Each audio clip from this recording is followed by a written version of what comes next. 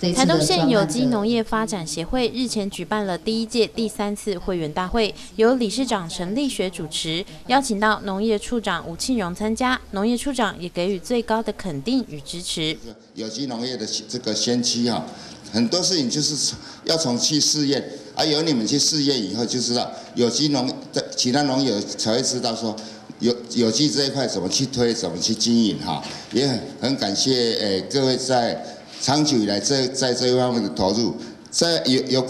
有关这目前来讲，就是像我们台东县有七百多公顷了，在全省来讲，大概占了第二名啊，在县市来来比的话，另外就是我们今年也争取到那个有机农业的。的一些推广的经费啊，大概一年目前连续四年一年都超过有一千万啊，也希望说各呃我们有机协会啊，有有关于要推广的、要行销的或者要技术指导的部分哈，我们可以跟诶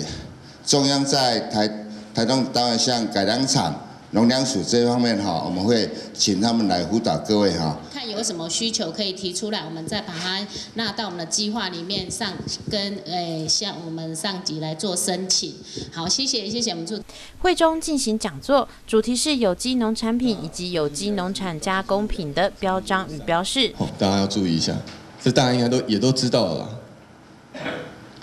那再来就是散装的部分，呃，散装的部分就是呃要在。这边多成立一个证书或是同意文件，那因为散装的部分其实，呃，我们比较少看到，对。